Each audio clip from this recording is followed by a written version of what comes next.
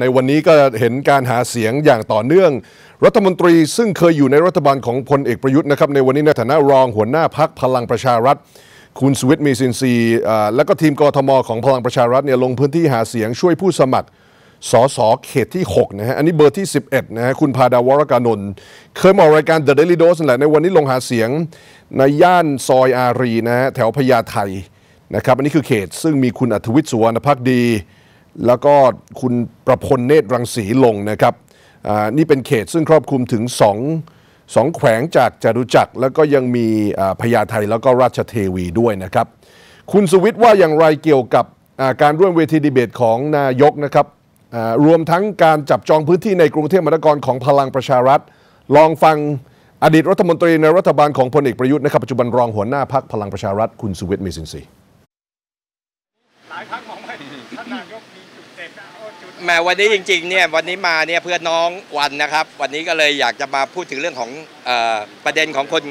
กรุงเทพนะครับอย่างที่น้องวันเสนอมาอารีโมเดลนะครับว่าแม้กระทั่งในเมืองที่เอ่ออยู่ใน downtown เนี่ยก็ยังมีแนวคิดนะครับที่จะทำให้คนกับสิ่งแวดล้อมอยู่ด้วยกันค่ะอย่างมีความสุขได้นะครับ ผมวันนี้ขอไม่ตอบเรื่องของท่านนายก เพราะว่าเราก็ยังไม่รู้ว่ากกตเอ่อกกตจะออกมานะครับเป็นอย่างไรนะครับ ขอให้กกตประกาศออกมาก่อนละกันนะครับ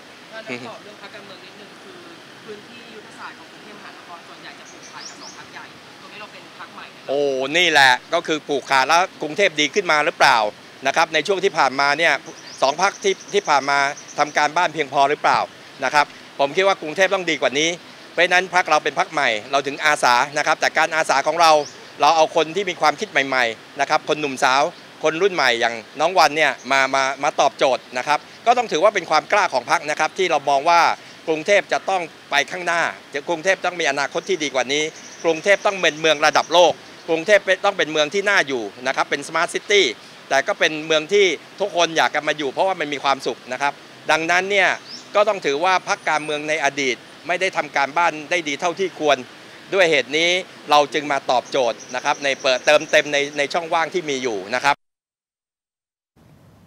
นั่นคือคุณสุวิทย์เมสินซีนะครับต้องการจับจองพื้นที่ในกรุงเทพมหานครนะครับคุณสุวิทย์หาเสียง ในวันนี้นโยบายของพพชรสำหรับกรุงเทพมหานครนั้นเป็นอย่างไรนะครับ ลองฟังจากคุณสุวิทย์แล้วก็ผู้ซึ่งลงสมัครในเขตนี้อีกครั้ง แต่ตรงนี้ก็ต้องถือว่านี่คือคนรุ่นใหม่ที่จะนำการเปลี่ยนแปลง ผมคิดว่าณวันนี้จะไปบอกว่าไอ้คนคนเก่าเขตเก่าเอ่อเขตเขตที่มีอยู่แล้วจะได้แต้มต่อผมว่าไม่ไม่ควรคิดอย่างนั้น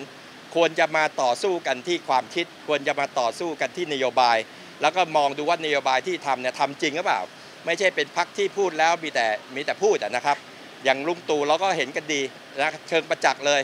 ท่านเป็นคนที่ทำจริงทำแล้วแล้วก็ทำได้ด้วยนะครับ เพราะฉะนั้นเราต้องการผู้นำอย่างเป็น action man พร้อมกับเราต้องการนะครับผู้ที่จะมาอาสาคนกรุงเทพที่เป็นคนรุ่นใหม่ไฟแรงมีความมุ่งมั่น แล้วก็ทำจริงนะครับ นี่คือ กุญแจสำคัญที่เราเชื่อว่าเราจะชนะการเลือกตั้งในกรุงเทพไม่มากก็น้อยครับ อันนี้เป็นนโยบายสำคัญเลยนะครับของพรรคพลังประชารัฐ โดยเฉพาะอย่างยิ่ง เราก็ทราบกันดีว่ากระแสของประเทศไทยเนี่ยมันเป็นกระแสคนเมืองมากขึ้น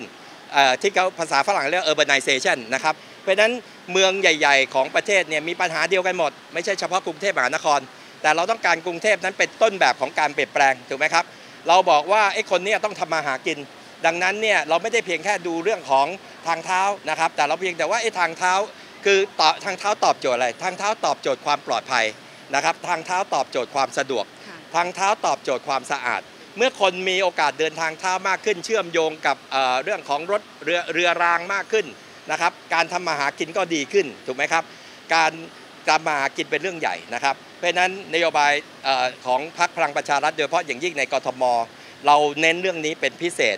ค่ะ ปัญหาหลักๆที่เราทราบก็คือ มันจะมีการก่อสร้างอาคารสูงมาก เมื่อมีอาคารสูงมากเยอะเนี่ยปัญหาที่ตามมาก็คือฝุ่นจากการก่อสร้างนะคะ แล้วนอกจากนี้ก็ฝุ่นที่เป็น PM 2.5 เนี่ยก็มาตามฤดูกาลเนื่องจากว่าแถวเนี้ยเป็นเมืองเพราะฉะนั้นต้นไม้เราจะเห็นว่าต้นไม้มันน้อยมากนะคะ อันนี้ก็เป็นหนึ่งอันที่ทางพรรคพลังประชารัฐเองเนี่ยอยากจะผลักดันเรามีนโยบายว่าต่อไปเนี้ยเราอยากจะทำให้ได้ก็คือกรุงเทพมี 50 เขต เราก็จะทำให้ได้ 50 สวนนะคะ และนอกจากนี้เราอยากจะเริ่มต้นว่าอยากให้ทุกคนปลูกต้นไม้อย่างน้อยคนละต้นคนละไม้คนละมือกรุงเทพเนี่ยมีประชากรรวมทั้งประชากรแฝงประชากรที่อยู่อยู่แล้วเนี่ยเป็น 10 ล้านคน ลองนึกดูแล้วถ้าเกิดทุกคนปลูกต้นไม้คนละต้นเนี่ยมันจะน่าอยู่ขนาดไหนนะคะ คือวันอยากให้ทุกคนลองช่วยกันคิด แล้วก็